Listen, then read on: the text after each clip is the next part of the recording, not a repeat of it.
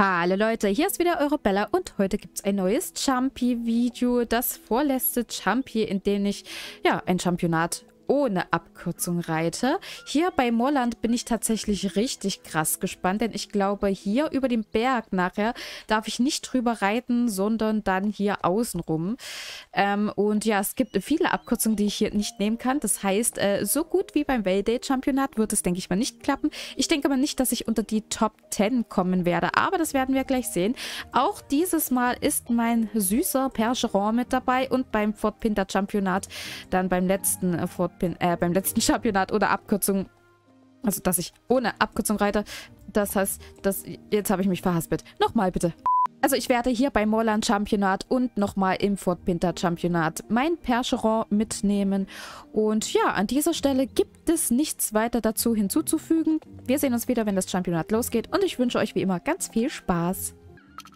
So, ja, das Molland Champi ohne Abkürzung reiten. Jetzt muss ich mich echt konzentrieren und aufpassen, dass ich nicht doch mal eine Abkürzung benutze, weil, ja, man benutzt eigentlich immer irgendwelche Abkürzungen, sonst hat man nicht wirklich irgendeine Chance, mal eine Medaille zu ergattern. Deswegen muss ich mich wirklich konzentrieren, nicht äh, irgendeine Abkürzung zu benutzen. Das ist echt Gewohnheitssache hier. Alter Schwede, guckt euch das mal an hier, ne? Ich nehme natürlich...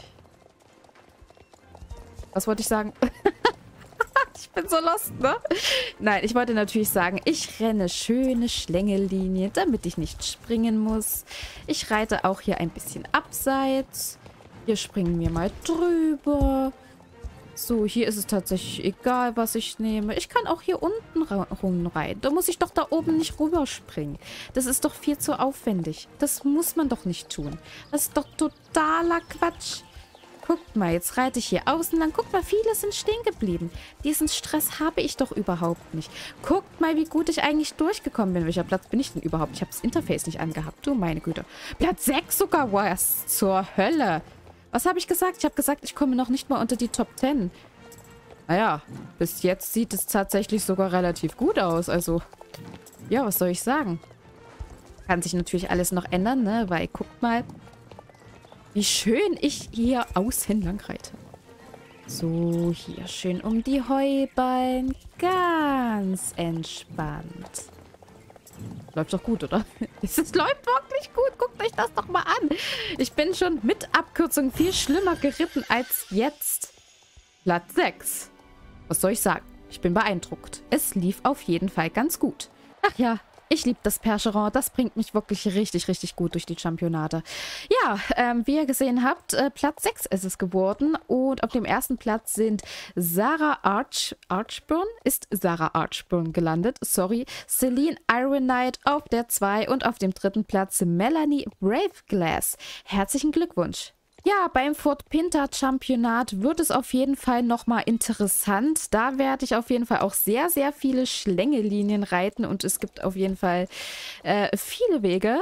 Ähm, viele indirekte Wege und da bin ich wirklich nochmal gespannt, wie das dann aussehen wird.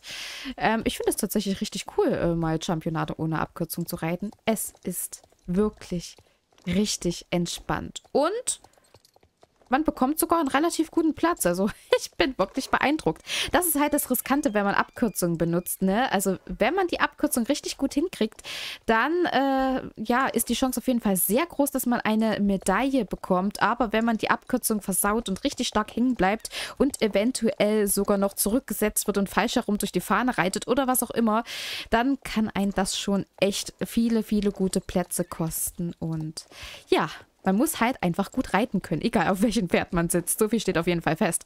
So, das war es auf jeden Fall vom Moorland-Championat ohne Abkürzung. Ich hoffe, es hat euch gefallen und ich hoffe, dass wir uns im nächsten Video oder nächsten Livestream wieder hören werden. Ich wünsche euch noch einen wunderschönen Tag oder wunderschönen Abend und hoffentlich bis zum nächsten Mal.